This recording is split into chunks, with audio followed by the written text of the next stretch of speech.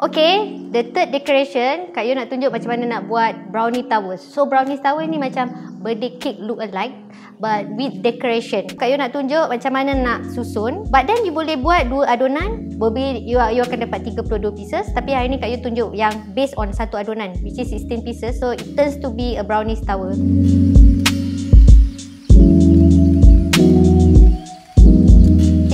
Kena drizzle lah supaya dia uh, melekat to each other before we continue with the details. So hari ni Kak Yu pilih Nutella.